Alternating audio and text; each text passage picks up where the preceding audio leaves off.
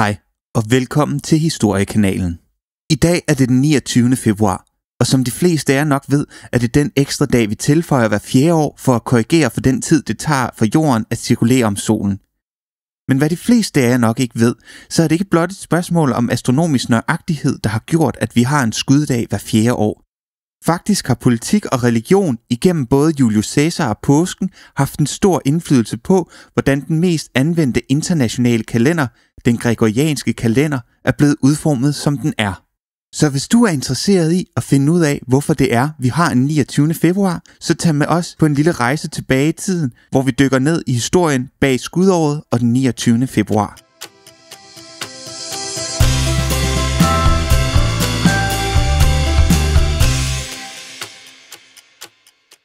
For at forstå helt nøjagtigt, hvorfor det er, vi har et skudår hver fjerde år, så bliver vi nødt til at skrue tiden tilbage til år 46 før vores tidsregning. På dette tidspunkt er Romeriet lige nu under ledelse af Julius Caesar. Problemet for Julius Caesar er måden, hvorpå man har ført den romerske kalender, som man har benyttet sig af op til da. Den romerske kalender var hovedsageligt bygget op omkring månens cyklus og bestod i et normalt år af 12 måneder med sammenlagt 355 dage. Fordi det ikke stemmer overens med et solår, indskød de hver andet år en skudmåned, så året blev 377 det ene skudår og 378 dage hver andet skudår. På nær hver 24. år, hvor man undlod denne skudmåned. Dette lyder måske lidt bøvlet og kaotisk, men hvis man tager denne kalender over 24 år, så går den faktisk op med et gennemsnitsår på 365,25 dage hvilket også var den beregning, Julius Caesar nåede frem til med sin kalender.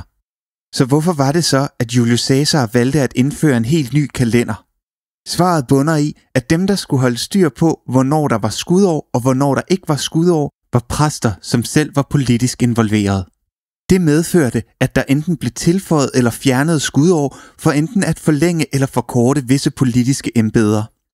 De var med andre ord ikke særlig interesseret i, om kalenderen var astronomisk nøjagtig eller ej. Derfor valgte Julius Caesar i år 46 før vores tidsregning at udforme en ny kalender, den julianske kalender, der trådte i kraft året efter.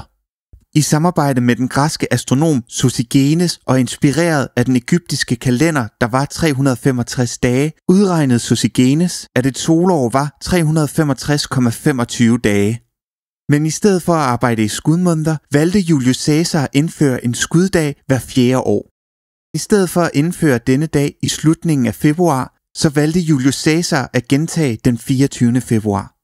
Det vil altså sige, at med den julianske kalender, så havde de altså hver fjerde år to dage, der var den 24. februar.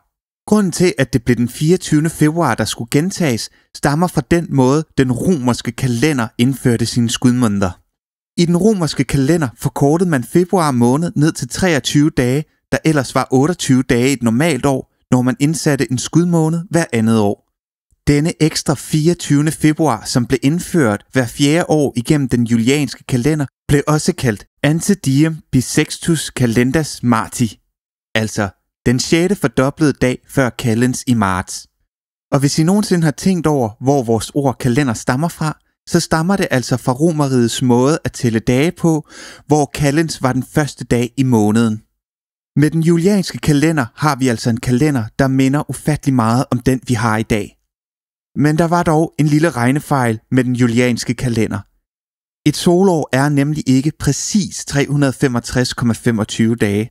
Faktisk tager det en lille smule kortere tid for jorden at cirkulere om solen. Dette blev et problem for pave Gregor den 13., der i 1582 indførte den gregorianske kalender, som vi i det meste af verden bruger i dag. Men for at forstå, hvorfor det er, at pave Gregor gerne vil have en mere nøjagtig kalender end den julianske kalender, bliver vi nødt til at skrue tiden tilbage til år 325 efter Kristi fødsel. I dette år finder en af de mest indflydelsesrige begivenheder sted for kristen historie. I dette år havde den romerske kejser Konstantin den 1. indkaldt verdens biskopper til et møde i Nikæa for at få fastlagt den kristne trosretning. Udover at fastlægge den kristne trosretning, blev der også besluttet, hvornår påsken skulle falde. Det skulle den ved første fuldmåne efter forårsjævndøgnet. Så hvis du nogensinde har undret dig over, hvorfor det er, at påsken den falder på forskellige tidspunkter hvert år, så er det altså på grund af denne beslutning, der fandt sted her i år 325 ved det nikeanske koncil. Som nævnt tidligere havde den julianske kalender begået en lille regnefejl. Den regnefejl medførte, at der hvert 129. år blev tilføjet en ekstra dag, så kalenderen faldt mere og mere bagud i forhold til solåret. Forårsjævndøgnet, der skulle falde den 21. marts, var dermed blevet forskudt med cirka 10 dage siden år 325. Og eftersom påsken er en af de mest betydningsfulde helligdage for den kristne trosretning, så blev det et stort problem for Pave Gregor, at den havde rykket sig så meget. Han var dermed ikke interesseret i at få rettet op på det skred, der var sket siden Julius Caesar indførte sin kalender, som på Pave Gregors tid var cirka 12,5 dage. Han var mere interesseret i at få rettet op på det skred, der var sket siden påsken blev fastlagt i år 325.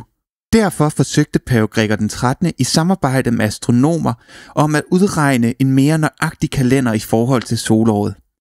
Her blev det regnet frem til, at et solår nærmere var 365,2422 dage. Ifølge denne beregning blev det altså for meget at holde et skudår hver fjerde år. Derfor blev det besluttet med den gregorianske kalender, at der skulle være et skudår hver fjerde år, med undtagelse hvert 100. år og på nær hvert 400. år.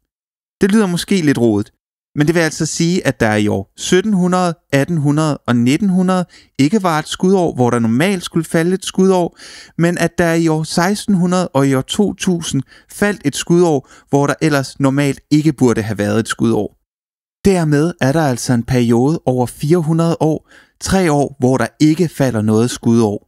Og det er med den rettelse, hvorpå den gregorianske kalender afviger fra den julianske kalender.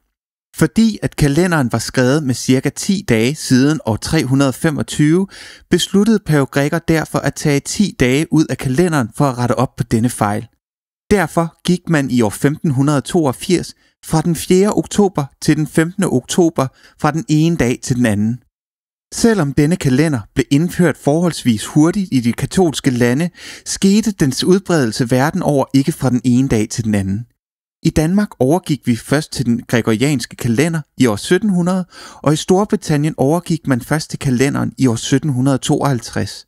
Fordi at kalenderen først blev optaget af forskellige lande i de kommende mange hundrede år, er der visse begivenheder, hvor man noterer begivenhedens dato, både som den fandt sted ifølge henholdsvis den julianske og den gregorianske kalender. Blandt andet faldt oktoberrevolutionen i Sovjetunionen sted den 25. oktober i år 1917 ifølge den julianske kalender. Men fordi at Sovjetunionen overgik til den gregorianske kalender året efter, så fejrede man efterfølgende oktoberrevolutionen den 7. november. Men for at komme lidt tilbage til skudåret, så mangler der stadig et spørgsmål at blive besvaret. Hvorfor lige den 29. februar? Som nævnt tidligere indførte Julius Caesar en ekstra dag hver fjerde år ved at gentage den 24. februar. Dette var ikke noget, som blev ændret med den gregorianske kalender. Historien om, hvorfor det lige blev den 29. februar, mener man blot skyldes praktiske årsager, da det juridisk set blev et problem at gentage den samme dag. Den 29. februar bliver for første gang vedtaget i 1750, hvor Storbritannien beslutter sig for at overgå til den gregorianske kalender, som trådte i kraft to år senere. Som I nok kan høre, er historien bag skudåret ikke noget, der fandt sted fra den ene dag til den anden, men er blevet til over mere end 1000 år siden Caesar fik indført sin kalender i år 46 før vores tidsregning, til Storbritannien i år 1750 vedtog den 29. februar. Vi håber, at I har nyt dagens afsnit om historien bag skudåret. Hvis I er interesseret i at høre om flere interessante historiske emner, så kan I følge historiekanalen på diverse sociale medier – Tak fordi I lyttede med.